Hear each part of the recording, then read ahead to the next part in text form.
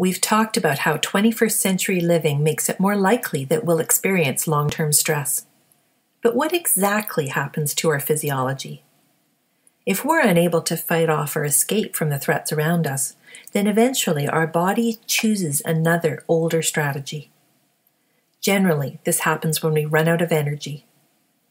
Fight and flight take enormous amounts of energy, depleting our body resources. When stress becomes chronic, we shift out of activation and into what's known as nervous system shutdown. The signs that we've entered shutdown are not surprisingly deep fatigue that doesn't improve with rest. You could sleep for nine or more hours in a night and still have no energy when you wake up if you're in shutdown.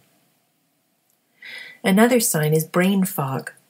This involves not being able to focus or concentrate for any length of time, or to remember information, even things you know well, like names, passwords, or phone numbers. In this state, you typically feel numb. You might have periods of sadness, guilt, anxiety, or anger, but these moments drain your energy, sending you back into numbness again.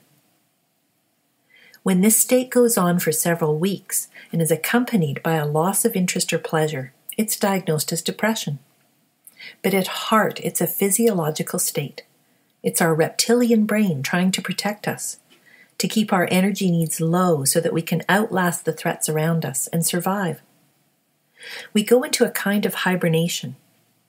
If you've ever been in a state of chronic shutdown, you know what this feels like. You have no energy, no motivation. You find it almost impossible to take action. You can't do the things that make up your usual day, or it takes the whole day to do just one thing. And after several weeks or even months of this, it's hard to believe that life will ever be different. And this is where our human brain starts to work against us. We can remember how life used to be for us, and we compare shutdown to how we should be living. Seeing people around us who are doing and achieving more sends us the same message that there's something wrong being unable to meet our own expectations keeps us feeling stressed, and so our body stays in shutdown. It's waiting for the stress to end. The overall goal is to outlast the threat, but our mind and our capacity for memory and judgment keep the threat going.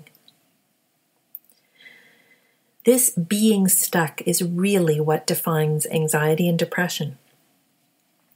Both of these conditions happen when normal physiological states persist, when the gears of the nervous system stop shifting and adapting in response to the changing world around us. A healthy nervous system moves in and out of different gears throughout the day. When we're stressed, we move into anxiety, anger, or shutdown. And when the stress eases, we move into a state of rest and calm. I'd like to show you how to return to that resting gear, and that's the focus of my other courses. Today is an introduction so that you can see whether what I have to offer would be helpful for you. It takes time and effort to tune into your physiology, to look at your symptoms in a new way, and to act and react differently. But what you'll gain from doing so is a feeling of working with your body and feeling that you have some control as you rebuild your health and that's definitely worth the effort. There's just one section left in this course, and then you'll have an opportunity to check out my other programs. Let's head to the next section for some hands on practice.